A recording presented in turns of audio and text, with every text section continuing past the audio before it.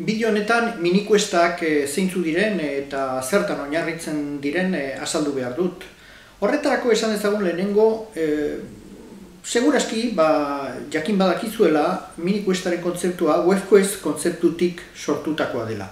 Azken finean, minikuesta e, WebQuest e, laburra da, ez besterik. E, WebQuestak, mila bederatzireun da laro eta amabostean e, sortu ziren eta mm, behar bada dakizuen bezala Bernie Dodge irakaslea izan zen e, ariketa mota hau edo eredu berri hau e, asmatu zuena.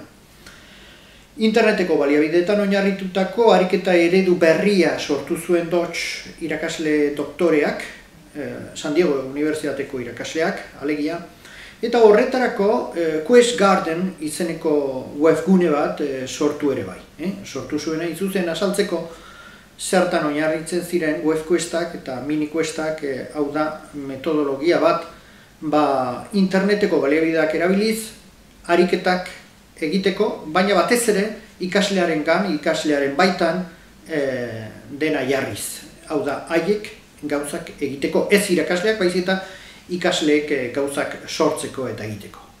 Gauza praktikoa, alegia. Minikuesta egiteko ikasleak burutu izateko alegia, bi orduko lana beharko du. Hortaz, bi orduko ikaslana antolatu behar du irakasleak. Irakaslearen lanari dagokionez, hau da sortzailearen eh, lanari dagokionez, esan dezagun iruz palau ordu behar direla minikuesta sortzeko. Batzutan gutxiago behar da, bi ordu, hiru ordu izaten da normalena. Irudimena internet eta testu prozesatzailea baino ez dira behar minikuestak sortzeko. Eta guain, esan edo aipatu ditzagun e, ba, atalak edo parteak. Lehenbiziko atala ezenatokia da, bigarren atala ataza edo ikaslana bera, hain zuzen e, zertan oinarritzen den e, e, miniko ez da, eta hirugarrenik hirugarren atala produktua, hiru gauza horiek eginezkero, ba, buruturik izango dugu gure lehenbiziko miniko ez da. Orain adibide bat ipin dezagun, hobetu ulertzeko nola burutzen diren e, hiru atal edo elementu horiek, ezta? Ez zen atokia esan dugu lehenbiziko osagaia dela, lehenbiziko pausua alegia. Adibide bat ipintzearen demagun ez zen atoki bat e, fiktizioa izan daiteke jakina, eta demagun e, bat e, esatearen ba, e, enpresa, kazetari batzuek enpresa sortu nahi dutela, enpresa berri bat, badakitela jakin e, fotoak edo argazkiak egin beharko dituztela eurrez, baita bideoak e, grabatu eta horrelako gauzak egin beharko dituzte eta entzun dute ba, materiala erosteko momentuan Canon EOS D7 eta Canon uh, D5 izeneko kamerak nahikoak direla e, ba, bai bideoak grabatzeko, bai argazki profesionalak e, egin alizateko.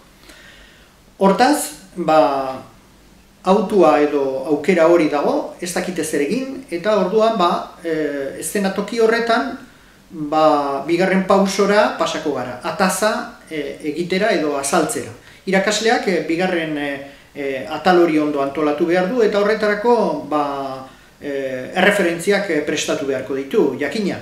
Webgune batzuk erreferentziatu, esan, hain zuzen, ba, hor dagoela informazio egokia e, jakin alizateko ze kamera erosi behar duen e, ba, pertsona horrek, hau da, e, zein den egokiena, eta horretarako parametro batzuk eman.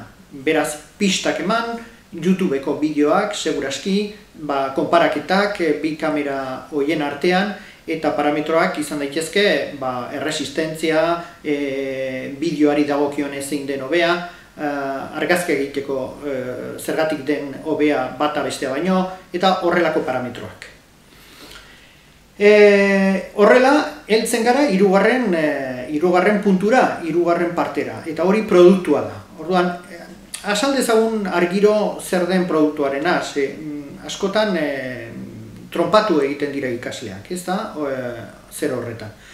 Bueno, behin ataza burututakoan, e, produktua egin behar da, e, hau da, zerbait praktikoa naiz eta fikziozkoa izan, e, ba, e, ba benetan errealitatearekin zer ikusia daukan zerbait. Ez baterako gure kasu honetan, gure kasu honetan izan daiteke, ba, e, kasetari lana eginez, e, egunkari batean, azaldu behar duzu e, zutabe batean, demagun lan egiten duzula egunkari horretan, eta zutabe batean ba, mila eta bosteun e, karaktereko e, artikulua egin behar duzu, hain zuzen, adierazteko zein den eta zergatik e, egokiena e, argazki kamera bat e, erosializateko, jakina. E, bi hoien artean, kanon EOS D-zazpi eta D-bosten artean. Horrela, gure kasuan, informazio guztia e, baita gomendioa ere e, e, presentatu alda, e, beste kasu batean izan daiteke produktua txosten bat, hau da, enpresa bati, e, demagun telebisa bati presentatu behar diozun e, txostena e, esateko mm, argiro zergatik e, den e, ona kamera hori, hautatutakoa alegia, eta mm, ikusten denez, ba, ba, gauza praktikoa egiten da modu horretara. Orain falta den gauza bakarra da esatia nola presentatu behar dituzuen minikuestak edo webkuestak. Kasu honetan badakizue webkuesta burutu alizateko eta aurkezteko askotan e, ba, ez, da, ez dela gauza ondirik e, behar. E, testu prozesatzailea erabilita ba, izan daiteke dokumentu bat, fitxategi bat, e, open document formatuan egindakoa, edo HTML bost e, soilean ere egin daiteke. Presentazio formatu batean ere ba, aurkeztu alda, alegia ba, SlideShare share izeneko webgunean e, txertatu, hori pini, eta presentazioa egin e, ba, Impress, Presentation edo horrelako programa baten bidez. Prezi bat ere erabil daiteke horretarako e, aurkezteko hain zuzen e, minikuesta. Beste e, aukera bat da, jakina, ba, e, Google Docsek e, daukan presentation izeneko e, aplikazioa erabiliz. Google Docs edo Drive, orain Drive deitzen baita. Eta bukatzeko, beste aukera bat, badaude e, onlineko zerbitzuak, bi aipatzearen e, PHP WebQuest edo Zunal, erabil daitezkenak, ba, bertan usteko, e, hain zuzen, zerbitzu hauetan onlineko zerbitzuak e, baitira.